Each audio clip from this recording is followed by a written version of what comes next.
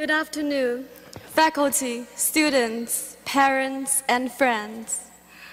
I am truly honored and grateful to speak at the commencement for the University of Maryland, class of 2017. That is Shuping Yang. Earlier this summer, she had just graduated with a double major in psychology and theater. But five years ago, she did not speak English. She could not go outside the house without a face mask. She was in China. Five years ago, as I stepped off the plane from China and left the terminal at Dallas Airport, I was ready to put on one of my five face masks. But when I took my first breath of American air, I put my mask away. The air was so sweet and fresh and utterly luxurious. Shuping grew up in Kunming, the capital of Yunnan province in southwestern China. It's a city with 6.6 million people. I grew up in a city in China where I had to wear a face mask every time I went outside. Otherwise, I might get sick. However, the moment I inhaled and exhaled outside the airport, I felt free. It was refreshing for her as a student to be exposed to open discussions on controversial social and political issues. I have always had a burning desire to tell these kinds of stories, but I was convinced that only authorities own the narrative. Only authorities could define the truth. In presenting her own narrative, Shuping's put herself in the spotlight, open to public scrutiny. It took no time for her speech to go viral in social media, especially among the Chinese community in the US and overseas. In the days and weeks following her speech, she has received high praise for her courage to speak up and harsh critique for betraying her country. She even got death threats against her and her family for expressing her emotional truth. My friends, enjoy the fresh air and never, ever let it go. Thank you. Who are her friends? Who are her critics? In this episode, we listen to your views and voices about the right to speak freely in America. I'm Mable Chan, and this is One in a Billion, a podcast about Chinese millennials in America. I'm an American. I grew up in America. I live and work here. I listened to the speech and I was surprised to see the backlash that she was receiving because I didn't feel like her speech was severely critical of China. And I think a lot of her speech focused on her experience of coming from one place to a new place and learning and growing as a college student. I grew up in Shanghai and I've been living in America for two years now, and I go to school in Massachusetts. I'm actually not very surprised that Yang Shuping's commencement actually rouses such a controversy in China because given the context of her speech happened in the United States, I think a lot of people with pretty high nationalistic sentiments can feel this as an act of betrayal and an act of a Chinese national not really defending her country. It is an act of losing faces for her own country, so I can see why they're so mad about this. I saw this speech not just as an individual act, but as a statement made as a representative.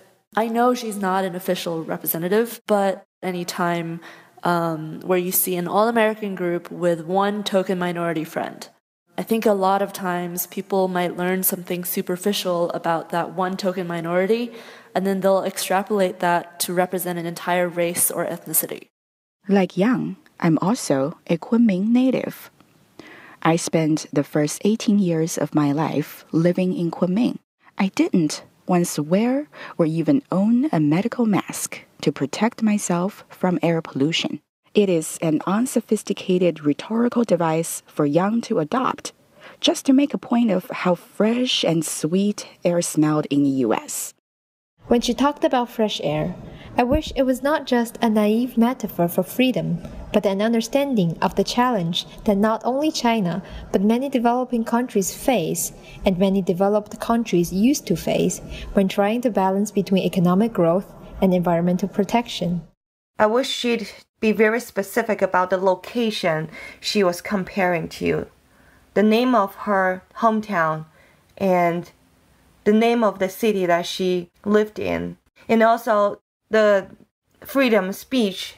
I wish she could give very specific examples instead of just talking about big words. It's like talking smack about your parents. You're the only person who is allowed to criticize them, but you are going to fight anyone if they dare to say bad things about your parents, right?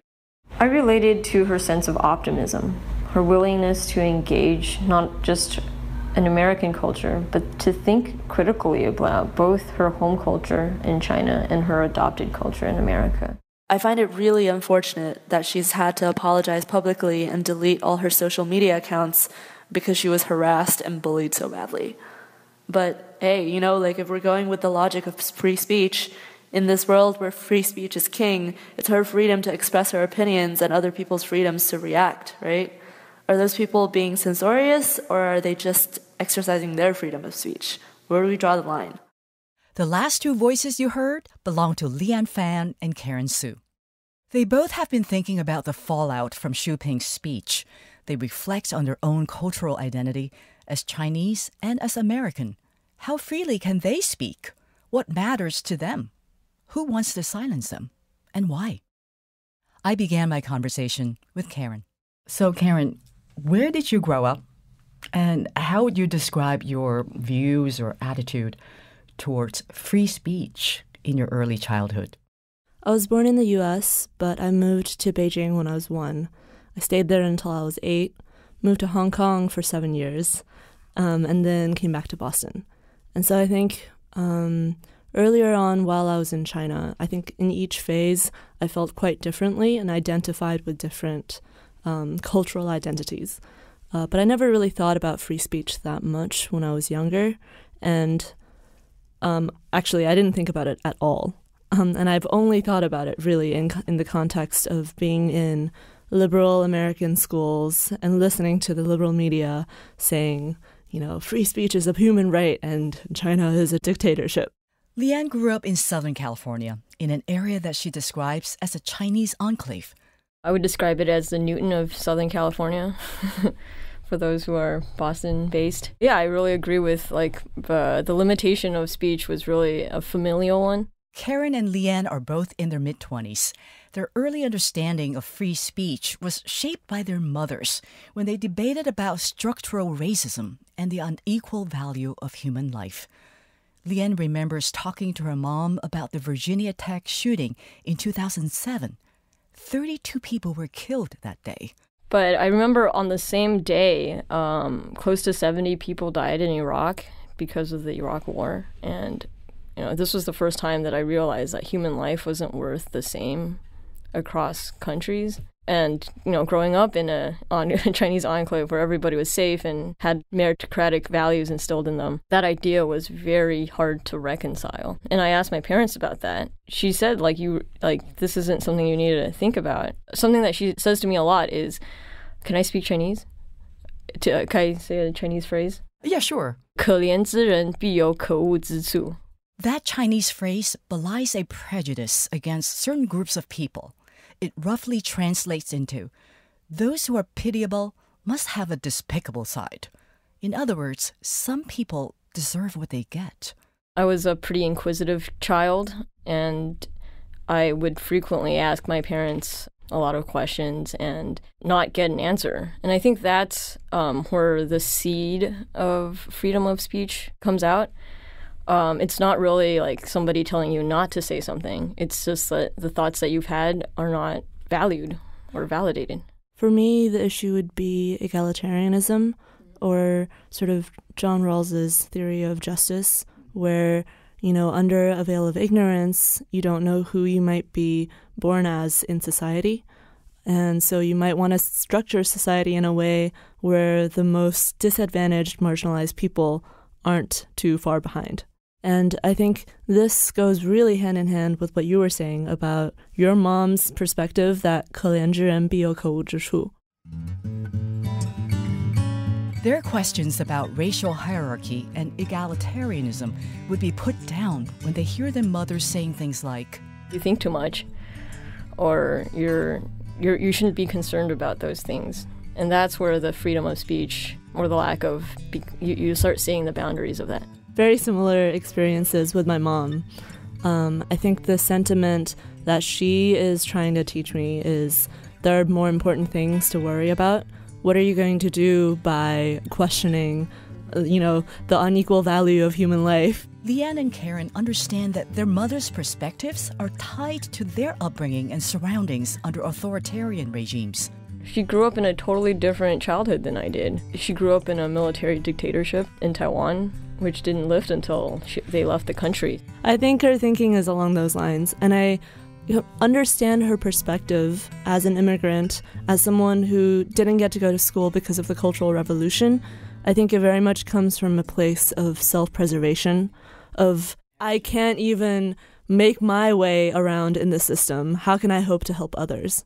Leanne and Karen feel that their intellectual inquiry about human life and values were dismissed by their parents because it would go nowhere. But I also wonder do they feel silenced because there's an embedded aversion to arguments within traditional Chinese culture? Yeah, that's super Confucian. Right? Yeah, I, I, it might be reductionist to like just attribute all of that to Confucius, but I think it is about like what role do you play in the, the structure of society and play it well.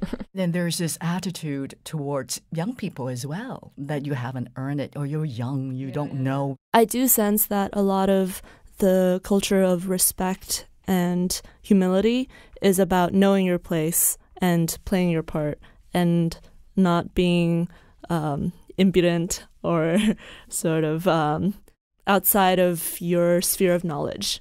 Like you don't even know what you're talking about is the very common response uh, when we might speak up to elders or figures of authority. That brings us back to Shuping Yang's commencement speech. Much of the criticism of Shuping focuses on her failing the expectations of traditional Chinese culture. Know your place, play your part, remember your roots. I think a lot of people got caught up in the facts or the factual inaccuracies or the exaggerations she had in the speech. Um, but I was more concerned about the overall tone. Um, this throwing away of our heritage um, for something better, when that something better only seems better because you don't have a complete understanding of it yet. So I think what rubbed me the wrong way is that we're in an imperfect world. Neither countries are perfect. Um, and to pit one against the other as good and bad is too simplistic. Julian? Whoa. I feel like she was actually critical of America in in this in her speech, um, and that's what I really uh, liked about her speech was she talked about police brutality and like realizing that you can talk about that in America, um, and that is a huge problem here. That's why I think I, I am sympathetic towards her because she she wants to ascend that hierarchy. She wants to understand things, um, and more power to that impulse. I so I sympathize with her too in pointing out the inadequacies and the very very real problems of China. Um, but I think it's the context that I had a problem with. She was probably speaking to a majority American audience who already had this narrative of China as an oppressive, polluted, backwards, um, dictatorial sort of country where people can't think for themselves and are all brainwashed. Um, I think this, I mean, this her speech, as well as the reaction, as well as all the discussion that we're having now around it, I think it's all good examples of free speech and bringing an issue to light so that we can better understand it.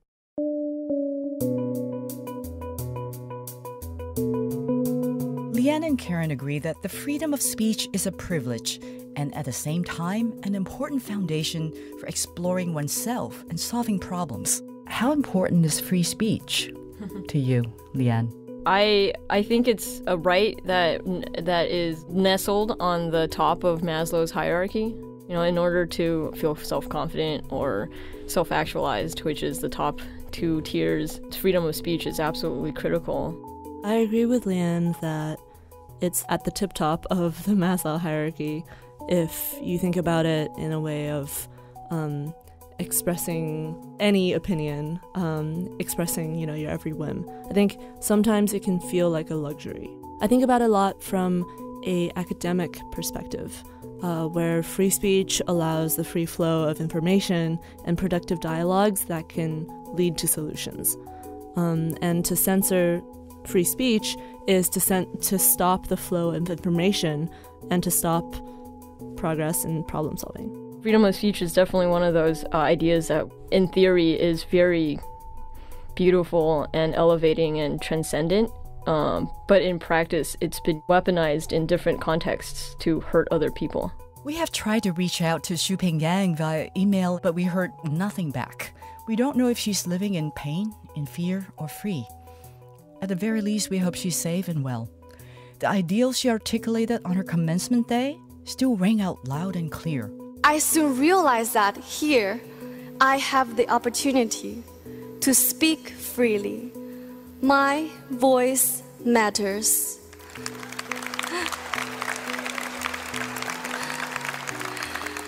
Your voice matters. Our voices matter.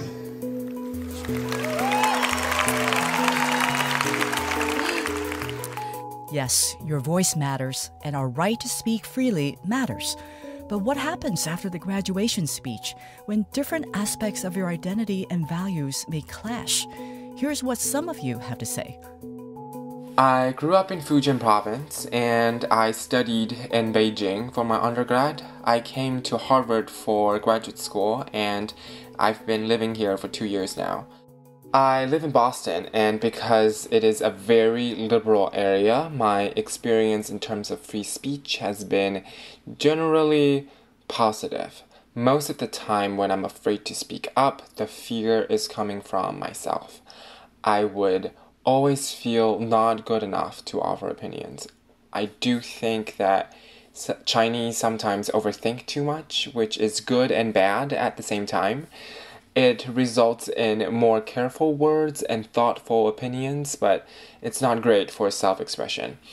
So I try to push myself to think out loud more often when I have conversations with other people, and that's how I cope with this problem. Yes, I am more free to speak up on specific issues, and I do have access to more choices, but I have to deal with racial discrimination, the racism towards Asian as a minority group. You win some, you lose some. If it was not because of my identity of being gay, I probably would be in China right now working on my dream job.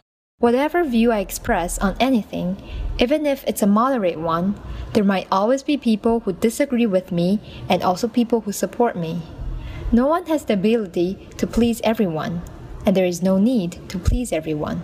At the end of the day, Shuping's speech is only a speech. Let's take a step away from the speech itself and focus more on the actual challenge we face how to improve air quality, how to protect the rights of citizens, and how to embrace diverse opinions in our society. I worked in the media industry for nearly five years, and that's all about what you say and how you say it.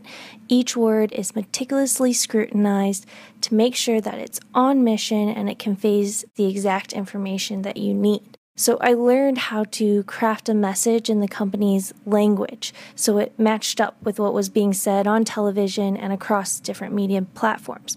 My job was to communicate on behalf of the company, but that was a part of my job. On the other hand, as I grow older and develop as a person, my goal has been to be authentic and real. I don't want to underplay the importance of freedom of speech, especially in our country that was built on that and founded on that.